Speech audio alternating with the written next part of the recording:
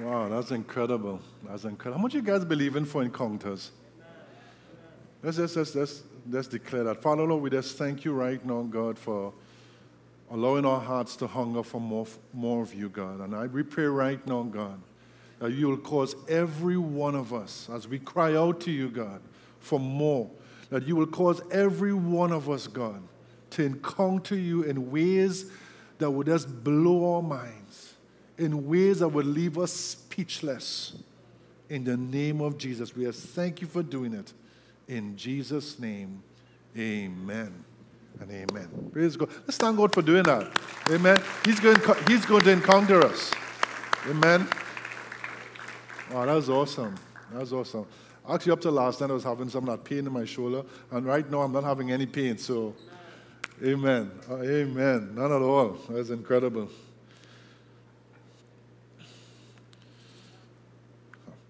So, I want to continue on our topic of hearing God. You guys been, been enjoying the series on hearing God? Amen. I believe this is what um, God really wants us to, to have that ongoing relationship with Him.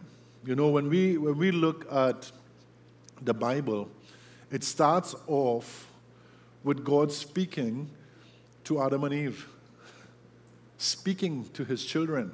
And the Bible ends with God speaking to John on the Isle of Patmos. So from the beginning to the end, God is speaking to his people. You know, it's really um, ridiculous to say that God doesn't speak anymore. Let me say it again. Because I've heard this in, in different quarters, let me say that in different places. I've heard people say God doesn't speak again.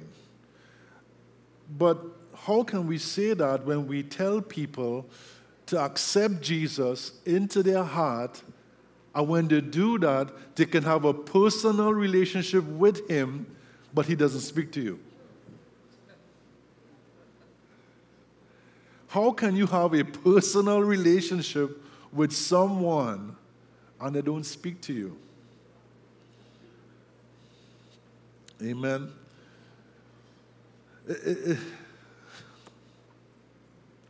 It's like, you know, God made Adam and Eve, and, uh, you know, and they say, here, here, here, this is a book of instructions. You read it and figure it out. I mean, I'm not belittling the Word of God. We need the Word of God, but it, it only comes alive to us when we hear His voice. Let me say it again. It becomes alive to us. It becomes the living word when we, when we hear his voice along with his written word. That is what gives us revelation knowledge. Amen. We need to hear the voice of God, and we can all hear his voice. Amen. It's more than just an instruction manual that we need. You know, I remember, I think it was, I think it was last year, two years, or it may have been last year. Yeah, last year, I think it was. Well, you know, we did the front, was it last year or two years ago? Maybe a year ago. I'd say like a year ago. We did the front, and we know we got some offices up there, and um, I needed a desk and a, a, a bookshelf. So we went down to courts and stuff, and we saw a, a desk that I liked and, and, a bookshelf. I was like, wow, I like this. And Indira was with me. So we say, uh, we're going we're gonna take this. We like, we, we um, so we, we, we, can get a, so we spoke to one of the salespeople and we said, okay, we want the, the desk and this, this bookshelf that goes along with it. So she said, great. Um, so we said, when, we, when can we come and pick it up or do you guys get someone to drop it for you? They said, um, no, we, what we do is that it comes in a box. I was like, what? I was like, I know it all. I, I, I, I, I understood it. They all come in a box. But can I get this one that's already built up? Right? She said, no, it, it doesn't work like that. You know, what you'll have to do is, is if, you, if you take it in a box, you'll have to pay a little extra, and someone will come and help you build it up. And I said all that to say this if I had just gotten the instruction manual and built it up myself, I will still be building that desk and, and, and, and, and bookshelf. For sure, because I have to put it up, take it back down. Put it up, take it back down. How much you guys right? You guys laughing at me, but hear this. Look at this. How much you guys ever try to build something on your own and you realize a few screws was left? Come on, right? So I'm not alone. Don't, don't, don't just laugh at Pastor Kirk. All right? So, so, so what I'm saying, you know what? I, I paid a little extra so I can get a helper. And this is what God did. Jesus said, I'm, I'm going to give you a helper. And that's the Holy Spirit who comes into our lives and speaks to us, and it brings the manual alive. You see? So, this is why God wants to speak to us. Amen?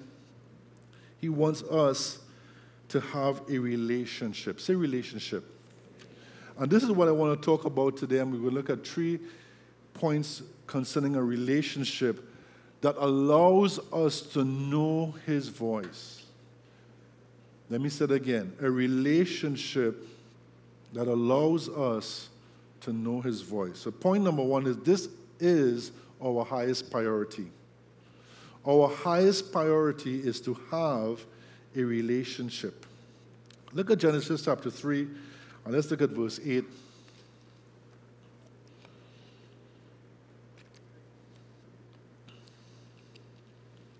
It says here, and, and they heard the sound of the Lord God walking in the garden in the cool of the day. And Adam and his wife hid themselves. I want you guys to see this. Hid themselves from the presence of the Lord among the trees in the garden. This has never happened before.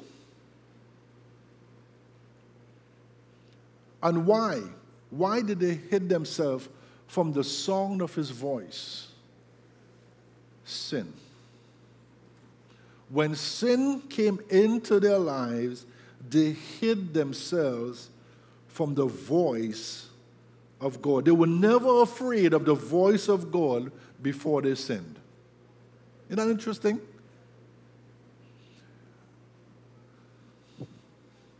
And I've seen that too, even in the lives of people. When sin come into their life, is when we don't see them. Come on. Why? Because for some reason, it, it, it, it, it puts fear into you that causes you to retreat from his voice. So, this is why it's so important for us, really, let me put it, don't play with sin. Because when you play with sin, when you get into sin, it separates you from what you were designed to do, which was to hear his voice. Amen. Man was created to walk and talk with him. We, just didn't get a book, amen, just to figure things out. You guys remember the song in the garden? And he walks with me and he. Right you guys know the song. I remember one time a little boy who was in church one time listening to this song and he was telling his mom mom mom mom. And his mom said what's up? What's up? He said who is andy? She said well, who you mean andy? He said i just heard him say and he walks with me and he talk. okay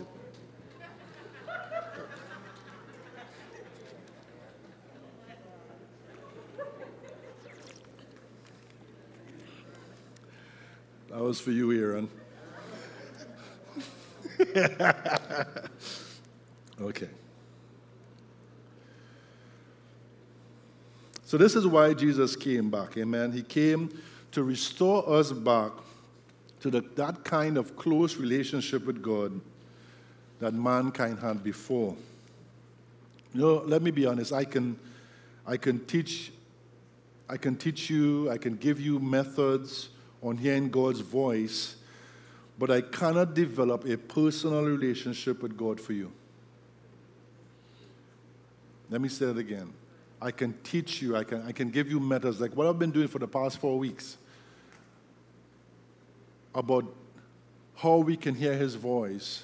But there's one thing I cannot do for you, is develop a personal relationship with God. You have to do that for yourself. Amen. You have to come to that place where you know His voice. You know, if, if, if I pick up the phone and Indira's on the other end, and I, I say, who, who is this? And she say Indira, and I say, Indira who? yeah, yeah, yeah, you know. It's going to be a rough night. Okay? Why? Because by now, because of our, our, our close relationship, I should know the sound of her voice. And that, and you guys, you guys, that has happened to every one of us here. I mean, how many times have you picked up a phone, someone spoke to you, and you did not recognize their voice? And most of the time, that happens because it's not someone that you're familiar with. It's not someone that you hear their voice on a regular basis. So you, you, you didn't recognize the sound of that person's voice. But if, but if it's someone that you know, like if, if, if Hosea calls me or, or, or, or, Antonio, immediately I know their voice because I've spent so much time with them, I recognize their voice. So it's the same thing. If God was to come and say, Hey, Jim, you should say, Hey. Hey, Lord. Why? Because you recognize his voice. But this only comes to us through relationship. Say relationship. We must develop a relationship on our own. And this must become our highest priority. I'm going to say it again. Our highest priority as, as, as God's people is to develop a relationship with Him. So, this leads me to my second point, and it's this our relationship with God must become our highest pursuit. We must go after it. Amen. What caused the sin that we just spoke about with Adam and Eve? I want us to look at that. You see, guys, there were, there were two trees in the garden, all right? The tree of life and the tree of the knowledge of good and evil, right? And God, God had told them, you can eat of every other tree actually of the garden, but this tree, what did he say?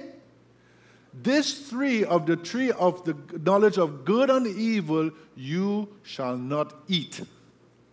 He what? He said it. He said it. Why? Because God never designed us to live by choosing between good and evil. He designed us to live by what He said. I'm going to say that again. God did not design us to live by choosing between good and evil. He designed us to live by His voice. He told them not to eat. He used His voice. Don't eat of the tree of the knowledge of good and evil. He, wa- he never wanted us to judge what is good and bad.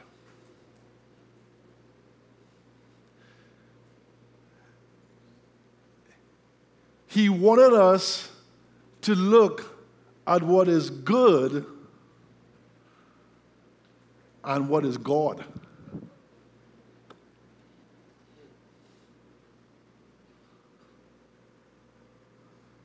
Because it could be good, but not God.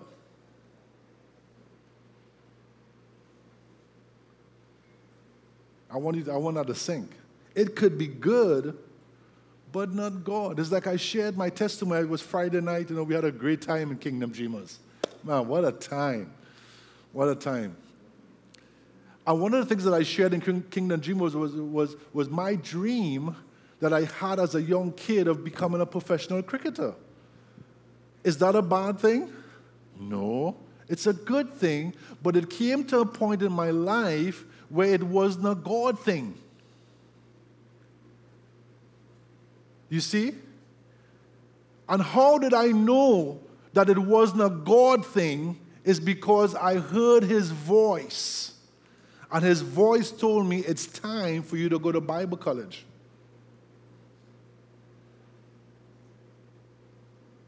So I knew then, even though the cricket pursuit was good, but at that season in my life, it wasn't God anymore. Amen? So, this is why we need to hear the voice of God. Because had I continued doing what was good, I would not be standing here this morning. And many other things may not have happened. I would not have had a beautiful wife. I'm making up. You see, but it's true. When you start to do what God requires you to do by you hearing His voice, you will get what God wants you to have. And this is a part of my notes, but I'm going to say it right now. The, the, the, the biggest challenge to us to having God's best is for you doing just what's good. Because good can become the greatest hindrance to what's best. So, this is why we need to hear the voice of God. This is why we need to recognize when God is speaking to us so that we can do what He wants, so we can have what He wants us to have, which is His best. But that only comes through relationship. Amen. You see, good could be bad if it's not God.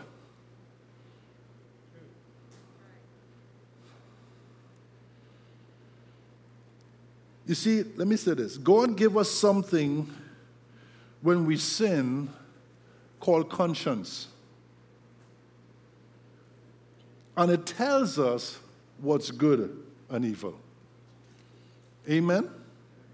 But that conscience that we have was not designed for us to live by.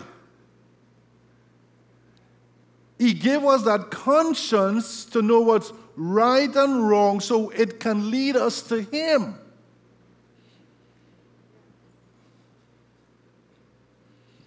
Let me show you the scripture Hebrews 9 and verse 14. And this is what it says it says, How much more shall the blood of Christ, who through the eternal Spirit offer himself without spot to God, cleanse our what? Cleanse our what? Our conscience from dead works to serve the living God. You see, only a pure conscience that's cleansed in the blood of Jesus can cause us to live for God. Because if that conscience is not cleansed, it could still make you do things that are good and not God.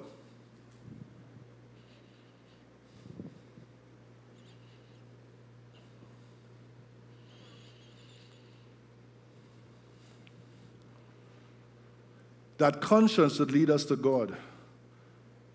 And when it leads us to God, we get His grace and that grace now positions us to hear his voice.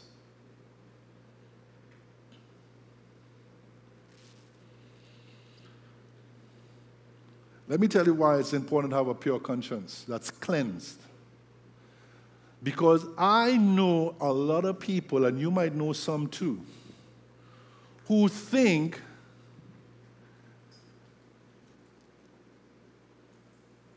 when they do bad stuff, they can do some good stuff to make them feel good about the bad stuff they did.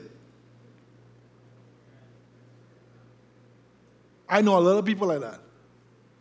So they do bad stuff and it messes with their conscience. So they go and do good stuff to ease their conscience. So it becomes a cycle I do bad, so I have to do some good. I do bad, so I have to do some good. I do bad, so I have to do some good. And the bad stuff never stops happening. But what they should have done is allow their conscience to cause them to go to God, which will lead them to repentance. The grace of God comes now into their life, and that empowers them to stop doing bad.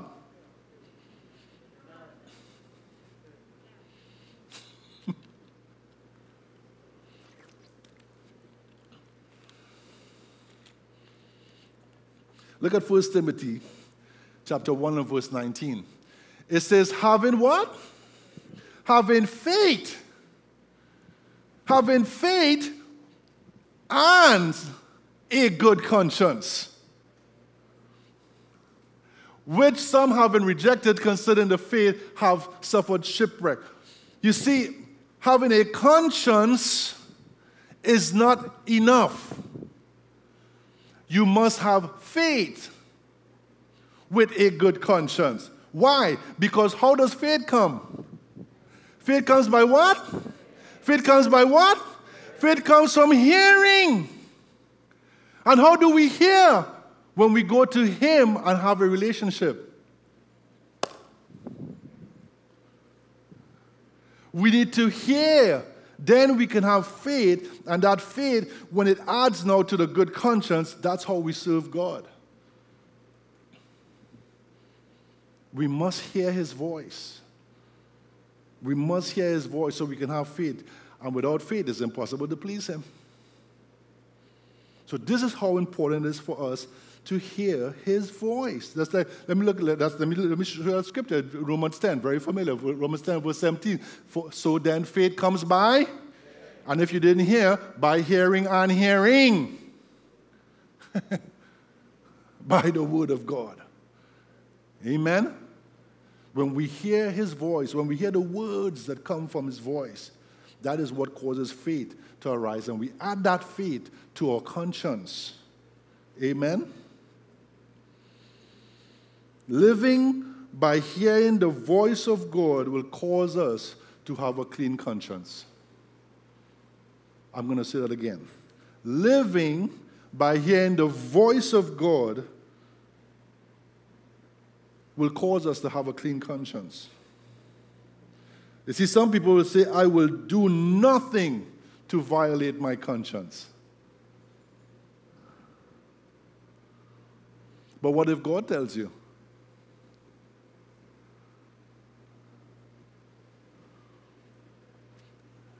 I'll be honest with you. I mean, go, I'm going to go back to that testimony, but I'll show you some scriptural evidence.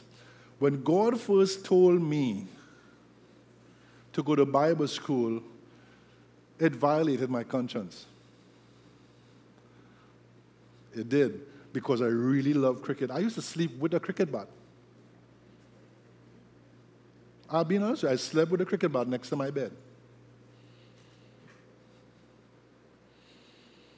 And I fought it for two years. It violated my he violated my conscience for two years. Plus, this is the next part of the story I didn't tell you. I did, probably did, but I'll tell you again. My girlfriend at the time, she said, I will never marry a pastor.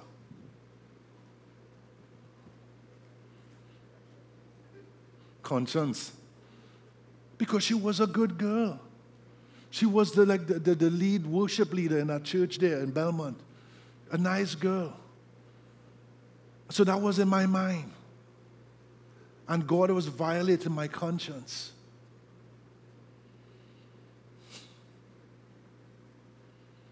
Yes, God can violate your conscience. Show me that in the Bible, Pastor Kirk. Thanks for asking.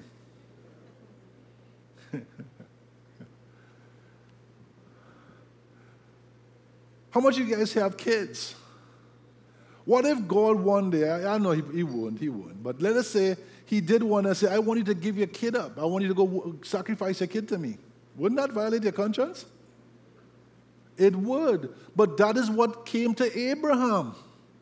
God came to Abraham one day and said, Hey, I want you to give me your, your child as a sacrifice. Isaac.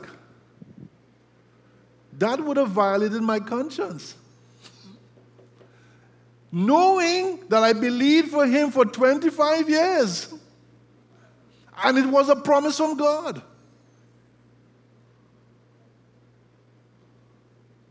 Let me show you another one. This one is interesting too. Look at Acts chapter 10. this is funny, guys. I know. It says the next day, this is about, this, about Peter, right?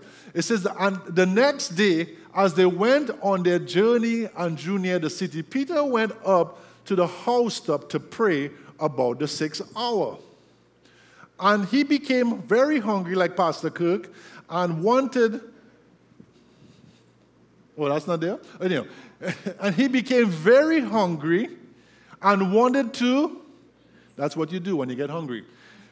And while they made ready, he fell into a trance. This is like what happened with Yanni this week. He fell into a trance and saw heaven open and an object like a great sheet bound at the four corners descending to him and led down to the earth. In it were all kinds of four footed animals of the earth wild beasts, goat, duck. I mean, you name it, curry. I mean, sorry. wild beasts, creeping things, birds of the air. And a what? A what? A voice. See, hearing God, hearing his voice a voice came to him Rise, Peter, kill and eat. Look at Peter's response. And Peter said, uh, uh, uh, Not so, Lord, for I have never eaten anything common or unclean. And the what? And the what? The voice. The voice spoke to him again. The second time, what God has cleansed, you must not call common. And this was done three times. and the object was taken up into heaven again. So here it is the great apostle Peter who knew his voice. And God had to tell him how much times? Why? Because it was violating his conscience. Because he, he was a devout Jew. And he never ate stuff like that.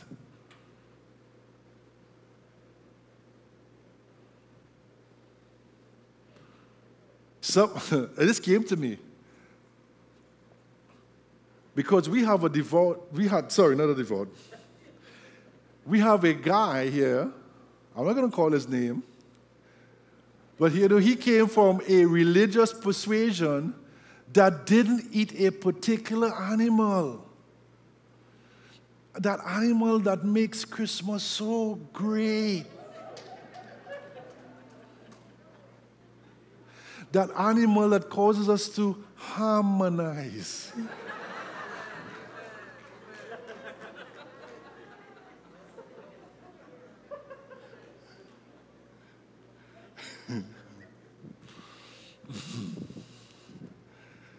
but boy, that fella, ham, ham.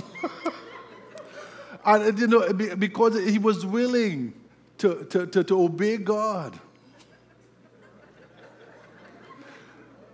And eat all manner of beasts. See?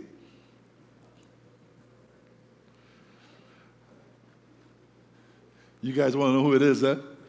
You guys really want to know who it is? I'll give you a hint. He still kind of looks like, anyhow, okay. you figure it out. You guys want another hint? Yeah, yeah. We saw him this morning. And, okay. I really give it away. All right? It was who? Ah, Mark. You see, he's practicing his word of knowledge. You see, Lil Abia, let's got a prophetic word, who it was. so we see it is so important to hear his voice.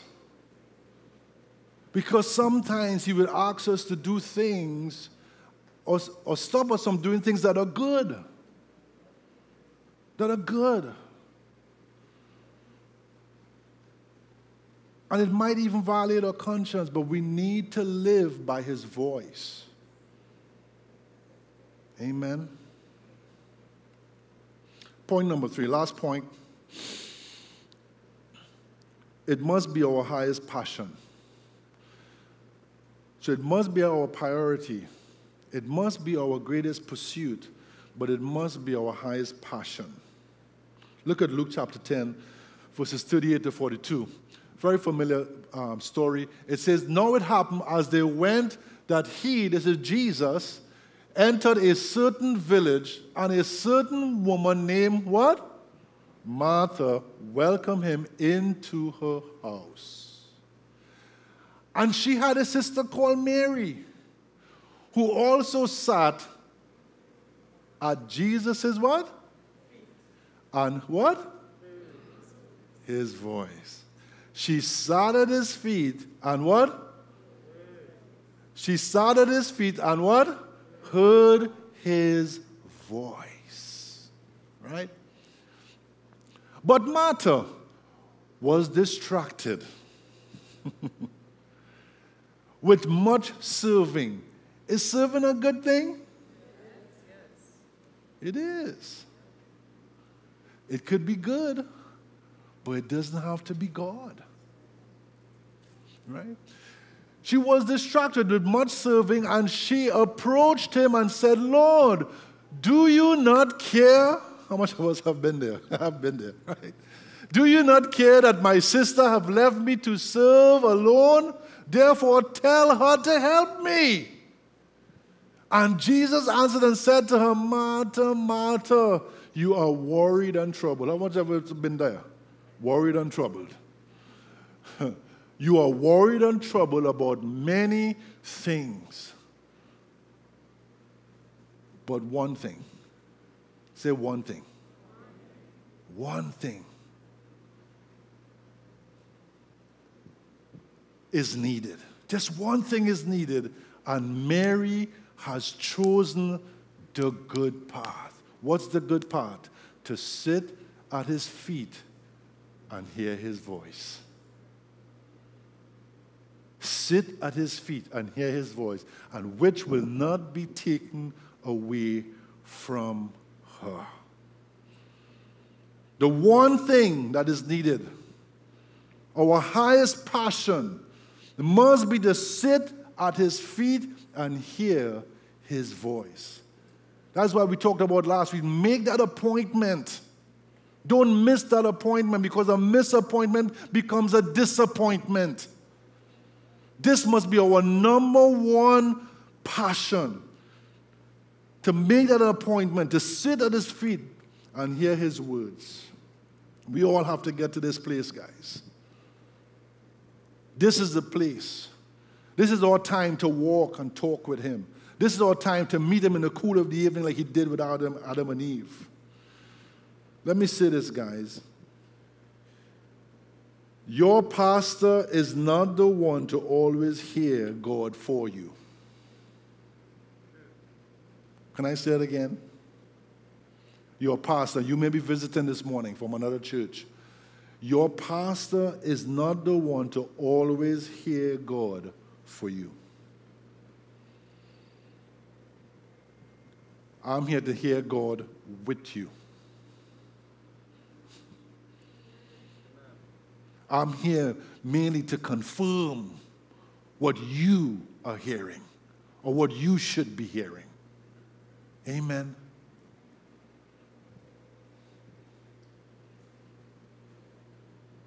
This is something we have to do. And we see this. You know, let's, let's look at one our last scripture this morning. And this is the, the, the people of Israel and, and, and, and, and, with Moses.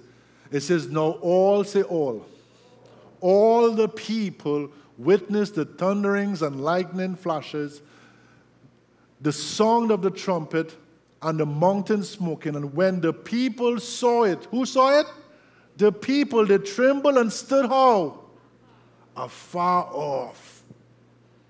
They stood afar off. Then they said to who? Pastor Moses. they said to Pastor Moses, You speak with us, and we will hear. But let not God speak with us, lest we die. And Moses said to the people, Do not fear. And this is what I'm going to tell you guys this morning. Don't fear his voice. Do not fear.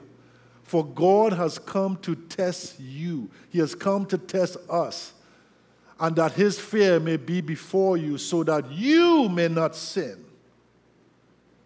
So the people, how? Still stood afar off, but look at this. Moses drew near the thick darkness where God was. Moses chose to go and sit at his feet so he can hear his voice. When God's desire was for everyone to come up the mountain, everyone to make that appointment to hear his voice. He wants to speak to all of us. We are called his sheep, and his sheep knows his voice. God wants to speak to us. And, it, and let me tell you something it's not just for the pastors or the spiritual leaders to hear God's voice. Look, they, they, they, were, they were simply praying. It, was it a Wednesday? A Wednesday evening here. They're praying, pressing in for more of God. And God spoke to each one of them. Look, even Q, or, or, or, or percussionist, she, heard, she, she says that God was saying someone had a pain in her shoulder. And it was for me. It was for me. I'm telling up to last night, asking the my, my, uh, my, my shoulder was hurting me. It started back again. I was like, uh, no, I don't know. It, like, it's gone. Praise God. Actually, that Wednesday, it was difficult for me to get my hand up like that. It was so much pain in my, in my shoulder. I think for the past few days, Indira has been massaging, but now it's gone. And that word, and that word came to, to, to Q, the percussionist. Is that apostle, prophet, evangelist Q?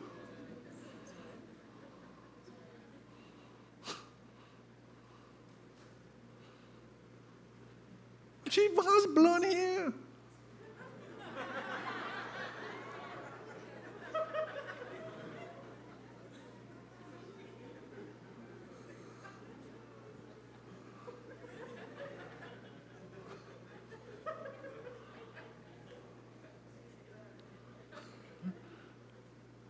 God wants to speak to all of us. Whether you have blonde hair, black hair, whether you have no hair. Amen. He doesn't care about your hair, He wants you to hear His voice.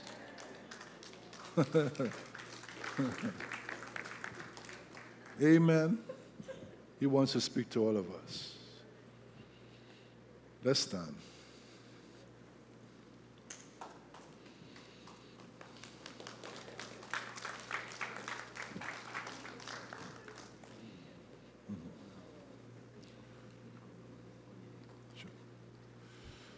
Hallelujah.